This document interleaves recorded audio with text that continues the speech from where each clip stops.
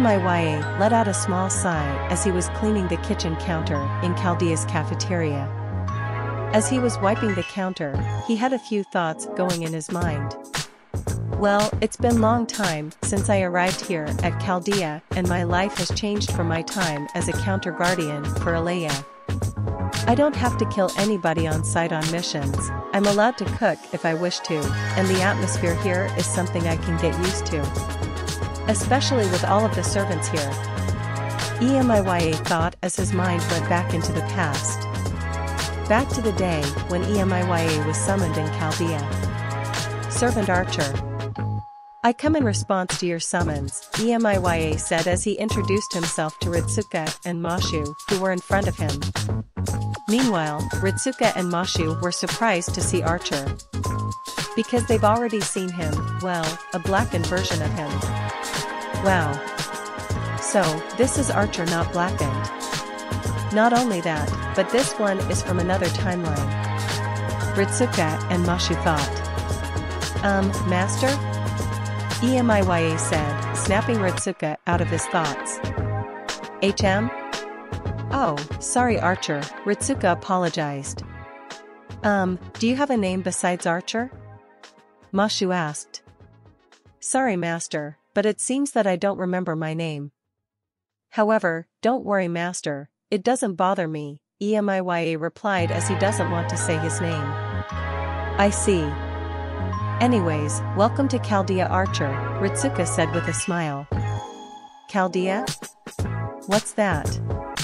EMIYA asked. An organization designed to protect humanity. EMIYA gave Ritsuka's answer a long thought. An organization designed to protect humanity? Well, that's new. I've never heard of Chaldea before. Um, Archer? Ritsuka said, snapping EMIYA out of his thoughts. HM? Oh, it's nothing master. Anyways master, what am I going to annihilate? I will slaughter your enemies as you wish. For a moment, Ritsuka and Mashu were quiet upon hearing what EMIYA just said. Um, Archer, here's the thing. We don't have to kill people. EMIYA was surprised. Wait. You don't have to kill people? Why yeah, Mashu replied. But then how is Chaldea going to protect humanity? Well, what Chaldea does in order to protect humanity is that we preserve humanity's history by going to singularities and fix them. Is that so? EMIYA asked as he was both interested and slightly relieved. Yeah. Anyways, do you want a tour of Chaldea? Ritsuka asked. Sure. I don't mind, EMIYA replied. Great. Let's go then. Soon, Ritsuka, Mashu, and EMIYA went out of the summoning room and Ritsuka and Mashu gave EMIYA a tour of Chaldea.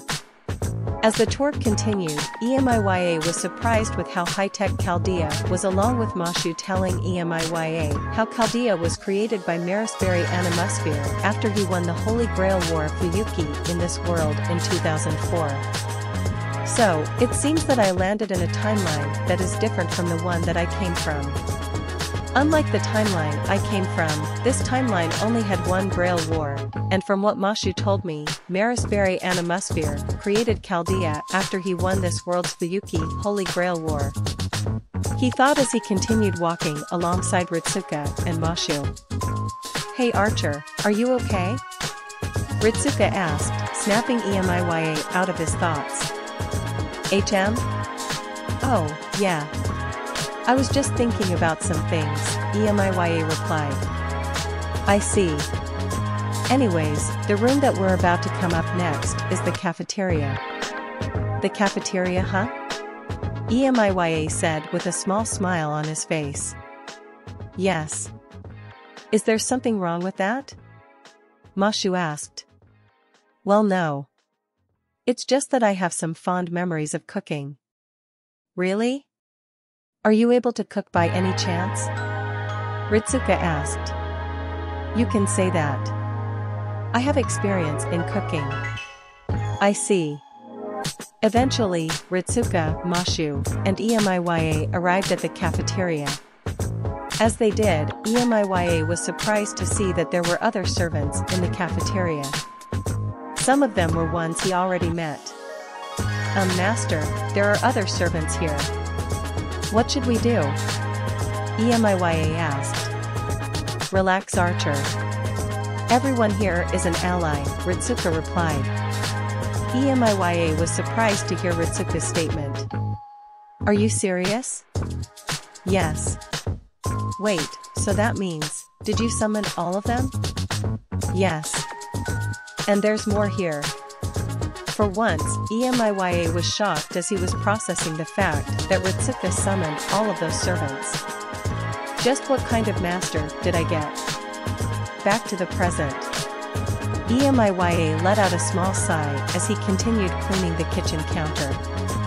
Even since I was summoned in Chaldea, things have changed for me. I'm not killing innocent people on sight unlike my time with Alaya and for once, I can enjoy myself. I'll admit, I was surprised to hear that Master summoned all those servants here, although Chaldea is supplying for them, so that's a relief for him. Although I'm still surprised with the amount of servants Master has summoned here. Especially, since some of them I already knew from either history books or from the Holy Grail War I was in. In fact, I still cannot believe that Thomas Edison and Nicholas Tesla are here as well. Although why does Thomas Edison have a lion's head on him and wear spandex that looks like a superhero costume? That's not how the history books depicted him. Not only that, but why does Nicholas Tesla look so young? I swear, history tends to get historical figures mixed up for some reason. Soon, EMIYA was done cleaning the kitchen countertop and soon started to leave the cafeteria. As he did, he passed by many servants with many legends. Some which were talking about Emiya Shirou. Wow. It's only been months since my younger counterpart arrived here in Chaldea and he's already the subject of many topics to talk about. I'm surprised that he's already this popular here. Soon, EMIYA stopped and looked at the window. However, the most shocking thing that I have ever seen was finding out that I have an altered counterpart. Months earlier, EMIYA was walking in one of Chaldea's hallways, minding his own business. As he did, he ended up bumping into a certain servant. Ow, the servant said as he fell to the ground. Ow, are you alright? EMIYA asked as he was lending the servant a hand to get up. Yeah. I'll be fine, the servant replied as he grabbed EMIYA's arm and pulled himself up. As the servant got himself up, EMIYA was shocked to see who the servant was. And the servant was shocked as well. The servant looked like him, but his skin was darker, his hair was shaved, and his eyes were golden. The outfit he was wearing consists of black sleeves with golden accents ending in thick metal manacles, black pants with a weave pattern, and white boots. His torso was showing as he was lacking a shirt. For a moment, both servants were shocked as they looked at each other while saying nothing. This servant, oh you got to be kidding me, he's me, they both thought in unison. Back to the present again. To this day, I'm still surprised that my altered counterpart looks like a gangster from Shinjuku. Furthermore, from what he told me, he turned Kanshou and Bakuya into twin guns. I wonder what caused him to change weapon styles. EMIYA thought as he continued looking at the sky. Eventually, EMIYA got tired of looking at the sky and decided to do something. Maybe I'll go to the training room next to clear my mind off of things. EMIYA then soon went into the training room. As he did, he saw someone over here who was already training. HM? Oh, hey Archer. Or should I call you EMIYA? Lancer Cu asked with a grin on his face as he noticed him.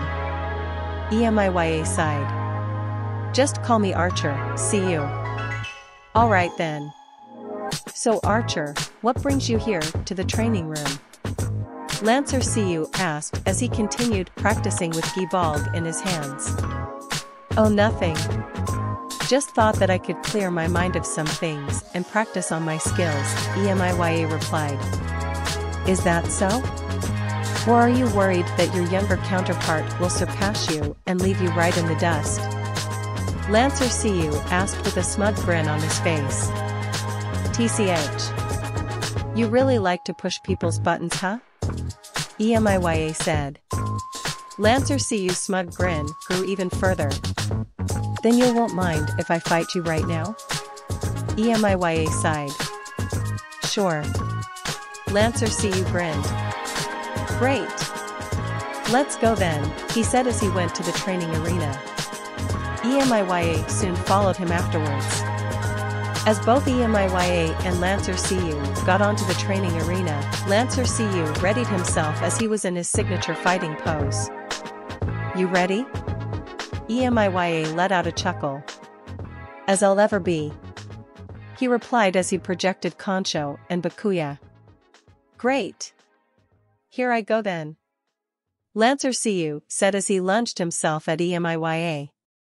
Soon, EMIYA and Lancer CU clashed with their weapons in their hands. As they did, Lancer CU pushed EMIYA back a bit with his spear. However, EMIYA quickly recovered and regained his stance. As he did, Lancer CU was about to lunge his spear at him, but EMIYA quickly dodged CU's strike to the side and proceeded to stab him. However, Lancer CU quickly saw that move and he dodged that. As he did, he then swung his spear at EMIYA in which EMIYA quickly blocked it with Kanshou and Bakuya. You know, it's been a while since we last fought, huh? Lancer CU said. Really? Yeah. Well, aside from your younger self that is. EMIYA sighed as CU mentioned his younger counterpart. Really? How did he fight against you? Lancer CU smiled. Honestly, he gave me quite the challenge. Probably the best I ever had quite a while. And the same goes well for my counterparts as well. Is that so? Yeah. In fact, I couldn't even believe my eyes upon hearing that he fought against my mentor and her counterpart, CU said as he started swinging against EMIYA.